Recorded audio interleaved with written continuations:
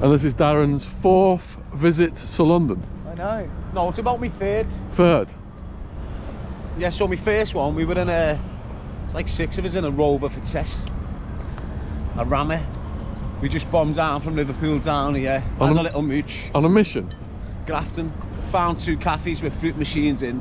Kicked them in. You only good on the fruit machine? Got the coins. Got the coins out the fruit machines. Mm. Had them in the boot of the car in socks. As we're flying back home, we get pulled Did by you? police, yeah. We're took into custody With your pound coins? with the pound coins and they release us. They release us because they made me report of stolen Yeah, and it's give us the money back. It's not evidence against your pound Box that. coins, is it? Box that.